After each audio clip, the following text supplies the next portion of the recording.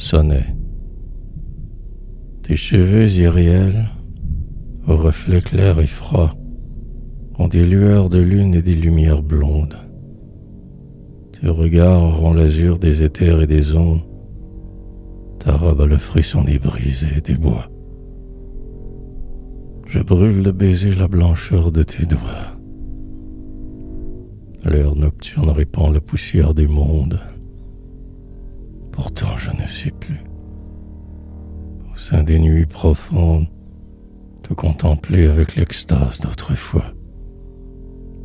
Car l'astre t'effleura d'une lueur oblique, et ce fut un éclair lugubre et prophétique, révélant la hideur au fond de ta beauté.